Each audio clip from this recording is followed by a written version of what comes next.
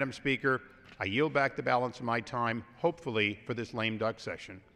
The gentleman from California yields back. The gentleman from Texas is recognized. Thank you, Madam Speaker. I thank the gentleman for being brief. I appreciate his uh, consideration. Um, I wrote my dissertation on performance-based budgeting, a comparative study of 50 states.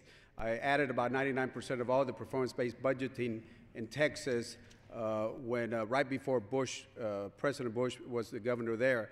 Uh, I know this legislation, and this legislation is probably the largest change we've had since uh, 1993. Members, this is a bipartisan bill supported by both uh, Demo uh, Democrats and Republicans in the House and the Senate. So, uh, Madam Speaker, again, I believe the gentleman has yielded. The gentleman Yes. has yielded. Uh, so, Madam Speaker, I encourage all members to support H.R. 2142, and I yield the balance of my time. The gentleman from Texas yields back his remaining time. All time for debate has expired. Pursuant to House Resolution 1781, the previous question is ordered. The question is on the motion by the gentleman from Texas, Mr. Cuellar. All those in favor say aye.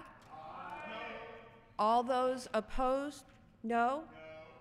The ayes have it. The motion is agreed to, and without Madam objection- Speaker, on this I request the yeas and nays.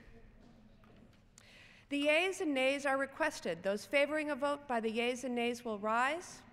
A sufficient number having risen, the yeas and nays are ordered. Pursuant to the order of the House of today, further proceedings on this question will be postponed. Yeas are 228, the nays are 130. The motion is adopted without objection. The motion reconsidered is laid on the table.